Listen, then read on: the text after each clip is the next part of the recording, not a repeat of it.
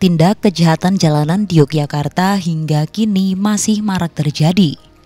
Berdasarkan kajian, aksi kejahatan jalanan ternyata dipicu oleh faktor-faktor besar seperti kemiskinan, pengangguran terbuka hingga ketimbangan atau gini rasio. Sebagai gambaran, pada 2022, angka kemiskinan di daerah istimewa Yogyakarta sendiri mencapai 11,49 persen. Fakta tersebut sejalan dengan pernyataan Ketua Komisi A DPRD DIY Eko Suwanto bahwa dalam berbagai kasus kejahatan jalanan yang terjadi di Yogyakarta dipengaruhi oleh kondisi ekonomi keluarga.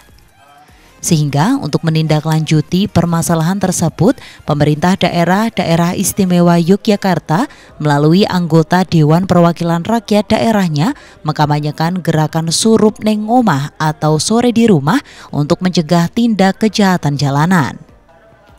Gerakan ini merupakan upaya kesekian kalinya guna mendukung sejumlah program pencegahan yang dilakukan pemerintah daerah. Pihaknya juga mengimbau kepada para orang tua yang memiliki anak usia remaja untuk mengetahui gerak-gerik yang dilakukan anak jika berada di luar rumah. Nah, membangkitkan kabar lokal ini Komisi A mendeklarasikan namanya gerakan surup nengomah, gerakan wengi nengomah baik.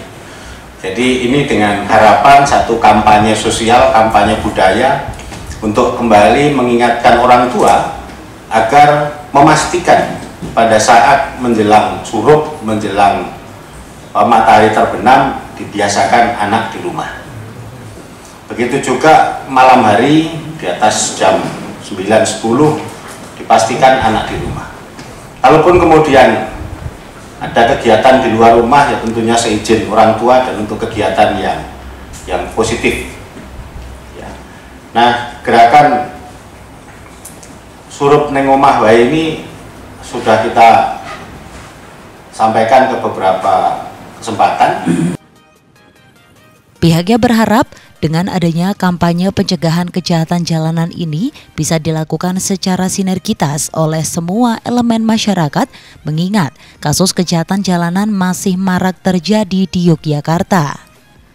Sehingga pencegahan harus dilakukan sejak dini tanpa menunggu ada peristiwa besar terjadi lagi dalam kasus tersebut.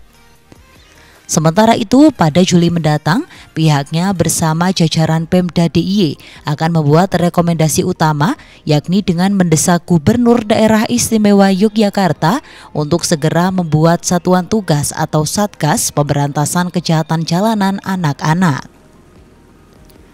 Dari Yogyakarta, Olivia Rianjani, Adi TV.